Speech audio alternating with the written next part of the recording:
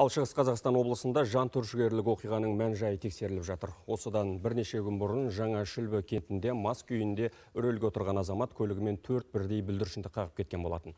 Тәртіп сақшыларының айтуынша ол жолда келе жатып кенеттен бағытынан жоғалтқан. Сөйтіп жол жиегінде жүрген бірнеше баланы соғып барып тоқтаған. Жол көлік апаты Бородулиха ауданындағы жаңа Шүлбі кентінде кешкі жеті жарымда болған. Оқиға орнында 5, 10, 11, 12 жастағы төрт бала зардап шекті. Бірі жедел жәрдем көлігінде көз жұмды. Полиция көлік руліндегі азаматтың мас болғанын растады. Қазіргі уақытта Mitsubishi көлігінің жүргізушісі Бородулиха ауданында полиция бөлімінің уақытша ұстау изоляторына қамауға алынды адам өліміне әкеп соққан жол көлік оқиғасы бойынша сотқа дейінгі тергеп тексеру амалдары жүргізілуде. Қалған балалар түрлі жарақаттармен ауруханаға жеткізілген. Олардың арасында біреуінің жағдайы ауыр дейді мамандар.